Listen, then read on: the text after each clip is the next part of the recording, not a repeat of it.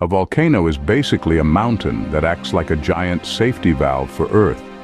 Under the ground, there's a hot melted rock called magma. When pressure builds up, the magma forces its way up and erupts onto the surface. This eruption can shoot out lava, ash and gas, creating a spectacular but powerful display of nature's forces. Here are 10 interesting facts about volcanoes. 1.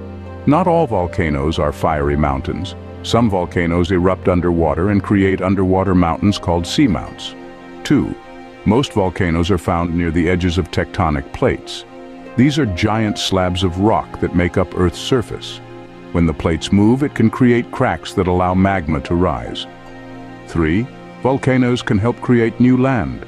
Lava flows can harden and add new rock to the Earth's surface, slowly building up islands and coastlines. 4. Volcanic ash can be good for soil.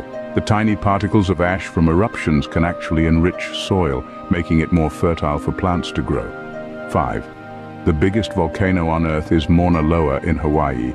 It's so big that if you measured it from its base on the ocean floor, it would be taller than Mount Everest. 6. Volcanoes can cause other natural disasters.